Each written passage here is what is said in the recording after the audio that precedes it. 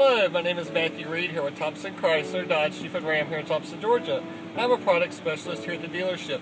Today I'm here to show you how easy it is to connect your phone to the Uconnect system. The first step to pairing your mobile device to your car's Uconnect system will actually be to push the phone button.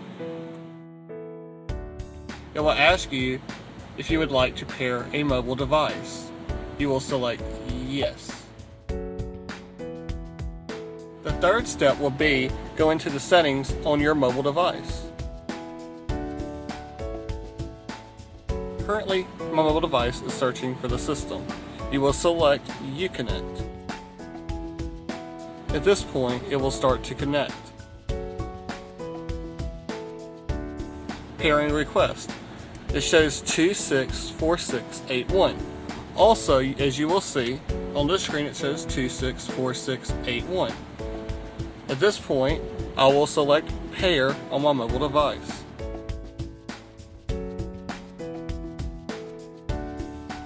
It is currently paired successfully. You would select to make this your mobile device if you are the primary driver, yes. Now that your phone is successfully paired to your car, you can actually select the keypad on your screen. At this point, I'm actually going to make an outbound phone call.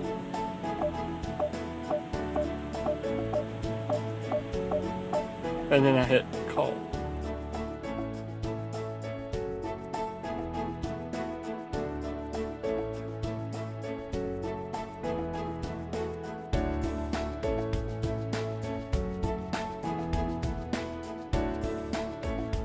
If I would like to transfer this phone call back to my personal phone, I would actually hit transfer and then the phone.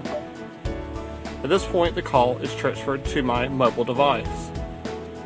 If I would like to transfer it back from my mobile device to my car's Uconnect system, I will hit transfer once again. At this point, the call is transferred back to my Uconnect system. You can also pull up your phone book located here. You can also pull up your recent phone calls.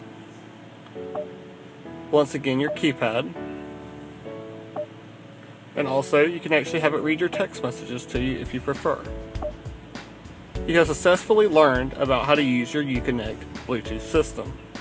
If you have any questions, please feel free to reach out to the dealership at 706 597 0062.